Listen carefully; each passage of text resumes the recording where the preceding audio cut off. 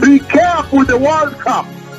The Bible says that the Messiah would come at an hour when you least expect, when the whole world will not expect.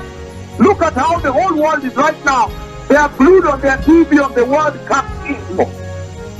Be careful. Look at how the whole world is focused on World Cup right now. How about if the Messiah comes now? Everybody will be caught off guard. Be very careful now.